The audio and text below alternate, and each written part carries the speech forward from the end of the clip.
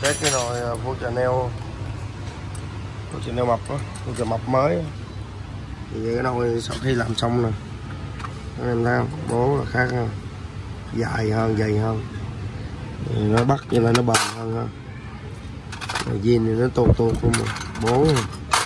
Nó sắc nè. Đang con heo nè. Hai lò xo luôn.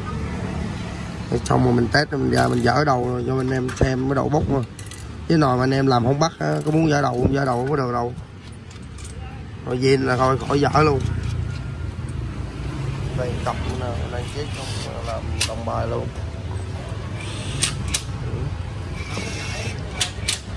Bố rồi lò xo cho giống nhau luôn.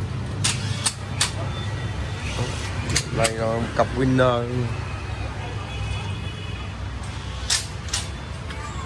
À, bời vario có lần hết nha. Đặt cái nồi à, uh, phu chợ mộc 219 sau khi uh, mình làm xong Đó, anh em đây này thay em cái lượt đó đồ chơi. Đồ nha giúp anh em cái lượng gió nó nhiều tiết kiệm xăng ha. Lượng gió nó rất là lớn nha anh em. Là bố lên 5 tép.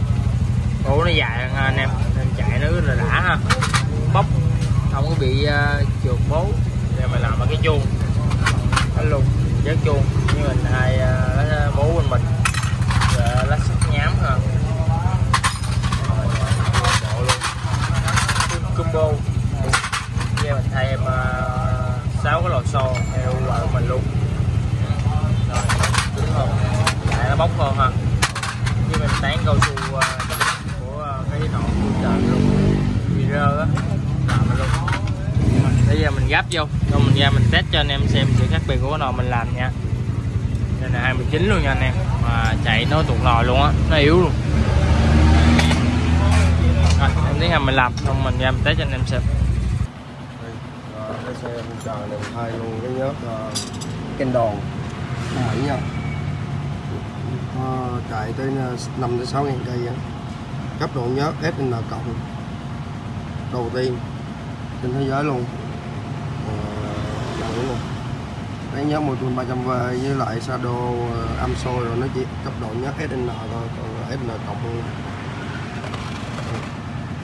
Rất là ờ, chạy ờ, rất là êm máy nhẹ.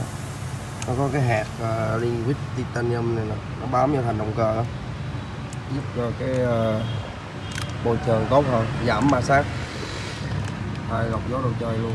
Có uh, gió nhiều hơn xe nhẹ xe là làm nồi hay nhớt với lọc gió